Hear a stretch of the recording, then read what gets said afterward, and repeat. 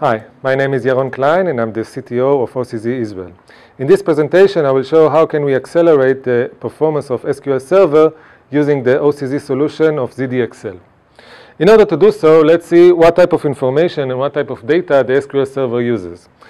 The first one, and the obvious one, is of course the database. The database is used by the SQL Server to store data, records, and indexes. Usually, what we will see is reading data from the database towards the SQL Server. The second type of data is the write-ahead log or the log file. The SQL Server writes incoming data, insertion, and so on towards the log, and in a background process, it transfers it to the database. The third one is a temporary space, or the tempdb file, which is a kind of a swap file that the SQL Server uses to store data that it cannot be placed in the memory because of the memory size and so on. This data is read and written to the tempdb by the SQL Server. Now, how can we accelerate this uh, uh, data using flash devices and the ZDXL software? The tempdb and the log are uh, uh, data types that can be stored in directly uh, on the flash. The log file is relatively a small file comparing to the database, and the tempdb is a non-persistent uh, uh, data. This is a swap information. It uh, doesn't have to be persistent. So the best place to put it is by having this data placed directly on the flash volume.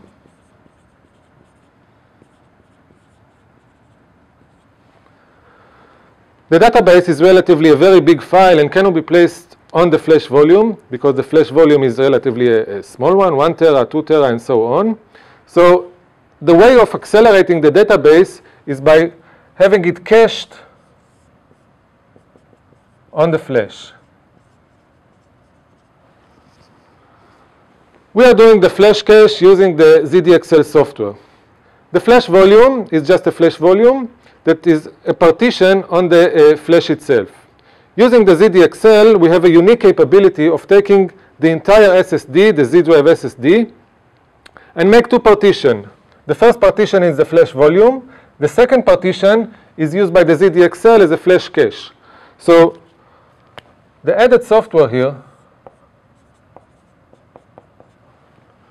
is in charge of both partitioning the volume to two parts, one for the flash cache, one for the flash volume, and caching all this database data from the database toward the SQL server. The tempdb and the log are directly written and read to the flash volume so they can have the benefit of the uh, flash uh, uh, high performance relatively to regular hard disk or even fast SAN.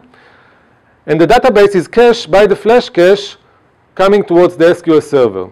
As we mentioned, since the database is mainly a read towards the SQL server, we have a fully uh, write-through caching that accelerate all this read incoming to here.